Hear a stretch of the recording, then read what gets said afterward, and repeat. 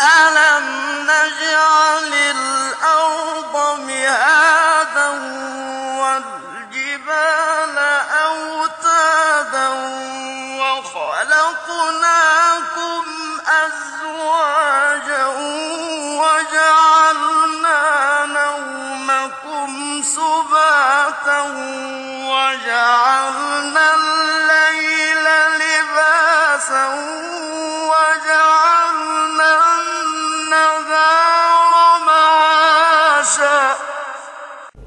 السلام عليكم ورحمة الله وبركاته.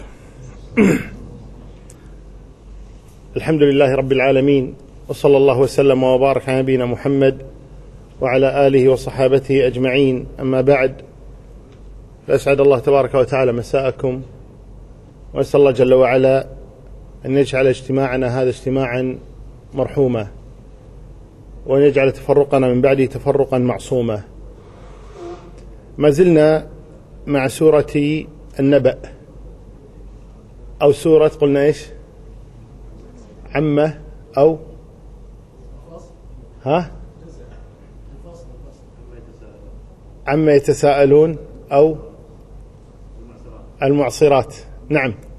هذه أربعة أسماء لهذه السورة. يقال لها سورة عمة ويقال سورة عما يتساءلون ويقال سورة النبأ ويقال سورة المعصرات. وقفنا عند قول الله تبارك وتعالى كلا سيعلمون ثم كلا سيعلمون. ثم قال الله بعد ذلك ألم نجعل الأرض مهادا والله تبارك وتعالى بهذا يمتن على عباده بما أنعم عليهم من النعم. فيذكر نعمه عليهم جل وعلا ومن هذه النعم أن الله جل وعلا جعل الأرض مهادا أي ممهدة. ومنه قيل لفراش الرضيع يقال له إيش؟ مهاد لأنه ممهد سهل لين. فالله تبارك وتعالى كذلك جعل الأرض جعلها مهادا. ألم نجعل الأرض مهادا؟ والجبال أوتادا. وهذه الجبال قيل لتثبيت هذه الأرض. ولذلك سميت بالأوتاد والوتد تعرف تعرفونه جميعا وهو ما تثبت به الخيام. توضع الأوتاد لتثبت الخيام. قالوا وكذلك جعلت هذه الجبال أوتادا على هذه الأرض لتثبت هذه الأرض حتى لا ترتج ولا تتحرك بأهلها. ألم نجعل الأرض مهادا والجبال أوتادا؟ ثم قال وخلقناكم أزواجا. جعل الله تبارك وتعالى من كل شيء زوجين سبحانه وتعالى. وذلك حتى تتكاثر هذه الموجودات التي أوجدها الله تبارك وتعالى فجعل من كل شيء زوجين سبحانه وتعالى. وبنينا فوقكم سبعا شدادا وهي السماوات السبع.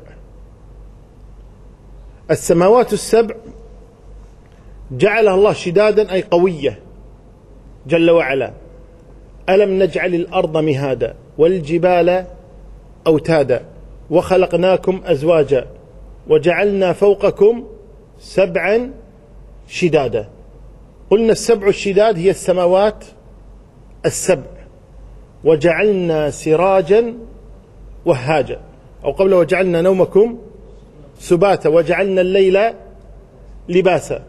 جعلنا نومكم سباتا أي أن الناس إذا أرادوا النوم يسبتون أي تقل حركتهم. جعل الله نومتهم نومهم سباتا أي قليل الحركة من السبت وهو الركون إلى الشيء والهدوء. جعل نومكم سباتا وجعل الليل لباسا. الإنسان الآن إذا كان عاريا كيف يغطي عورته؟ باللباس. فهذا اللباس يغطي ما ستره اللباس وهي عورته. كذلك الليل يغطيك حتى لا يراك الآخرون. فصار كاللباس الذي تلبسه فيغطيك. فهذا الليل بظلمته جعله الله لباسا للناس. يسترهم يستر بعضهم عن بعض سبحانه وتعالى. وجعل النهار معاشا. أي يخرج الناس لطلب العيش. لطلب الحياة في هذا النهار. فالله تبارك وتعالى إذا يمتن علينا بهذه النعم العظيمة التي من بها علينا سبحانه وتعالى. الله جل وعلا جعل النوم سباتا جعل الليل لباسا جعل النهار معاشا وبنينا فوقكم سبعا شدادا. وهي كما قلنا السماوات السبع. هذه السماوات السبع شديدة أي قوية محكمة بإحكام الله تبارك وتعالى لها. وهنا جعلنا نومكم سباتا جعلنا الليل لباسا جعلنا النهار معاشا بنينا فوقكم سبعا شدادا. ثم يقول وجعلنا سراجا وهاجا وهي الشمس. الشمس أخبر الله تبارك أنها سراج وهاج أي شديد الإنارة. وأنتم ترون الشمس. كيف أنك يعني في مثل هذا المكان مثلا نحتاج كل هذه الإنارة مثلا التي نستخدمها الآن وهي لا شيء بالنسبة لطلعة الشمس. فالشمس سراج وهاج أي مضيء شديد الإضاءة. وجعلنا سراجا وهاجا. وهي شمس الله تبارك وتعالى. ثم يقول الله تبارك وتعالى ماذا؟ وجعلنا سراجا وهاجا وأنزلنا من المعصرات ماء ثجاجا.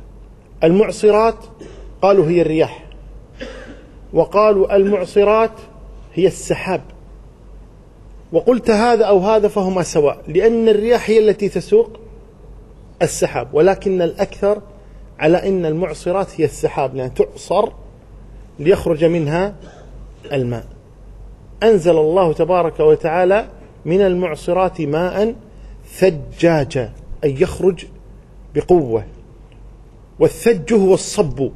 أحيانا المطر أحيانا ينزل ديمة والشيء الخفيف اليسير وأحيانا ينزل إيش؟ بقوة وهو الثج.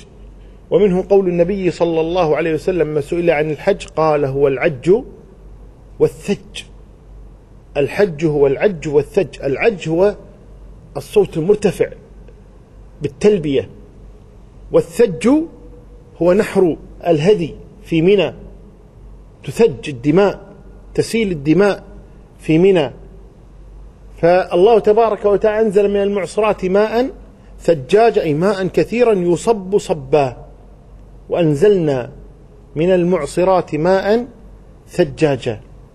هذا كله من من الله تبارك وفضل يدلي به سبحانه وتعالى لعباده ليظهر لهم نعمه التي لا تعد ولا تحصى. لما أنزل الله تبارك وتعالى هذا الخير وهذا المطر أنبتت الأرض لنخرج به حبا ونباتا. سواء الحبوب أو العشب. كله يخرجه الله تبارك وتعالى بسبب إنزاله لهذا المطر. لنخرج بحبا ونباتا. وجنات وهي البساتين الكثيرة. الفافا أي الملتفة. وذلك أن هذه الشجر هذه الأشجار لكثرتها وتشعب أغصانها تلتف بعضها على بعض. وجنات الفافا. ثم يقول الله تبارك وتعالى بعد هذا كله إن يوم الفصل كان ميقاتا. يذكرهم الله تبارك وتعالى أن الذي خلق هذا كله عنده يوم وهو يوم الفصل وهو يوم القيامة. إن يوم الفصل كان ميقاتا. وسمي يوم الفصل وسمي يوم القضاء وسمي يوم القيامة وسمي اليوم الآخر وهو الذي يفصل الله فيه بين العباد ويقتص للعباد لبعضهم من بعض. إن يوم الفصل كان ميقاتا. وهذا اليوم يقال له اليوم الآخر لأنه ليس بعده يوم هو آخر يوم. لأن الشمس والقمر يذهبهم الله تبارك وتعالى. خلاص ما في ليل ما يأتي بعد هذا اليوم ليل. ولذلك يقال له اليوم الآخر آخر يوم. وهذا اليوم مستمر أبدي سرمدي. ولذلك يقال له يوم الخلود ليس بعده ليل أبدا. إن يوم الفصل كان ميقاتا أي ليقضي الله بين الخلق. فالمؤمن التقي المظلوم أو كذا ينتظر هذا اليوم. والإنسان الفقير ينتظر هذا اليوم. والإنسان الذي اعتدي عليه ينتظر هذا اليوم. هذا اليوم يوم الفصل هو الميقات الذي يقتص الله به للمظلوم من الظالم. إن يوم الفصل كان ميقات يوم ينفخ في الصور فتأتون أفواجا. أفواج كما قال الله تبارك مهطعين إلى الداع. يخرجون أفواجا. يوم يدعو الداعي إلى شيء نكر. يخرجون من الأجداث كأنهم جراد منتشر في هذا اليوم. إن يوم الفصل كان ميقات يوم ينفخ في الصور فتأتون أفواجا أعداد كبيرة جدا لأن كل الناس كل الخلق من يوم آدم إلى أن تقوم الساعة يجمعون في ذلك اليوم. وهذه هذه النفخة هي النفخة الثانية. يوم ينفخ في الصور.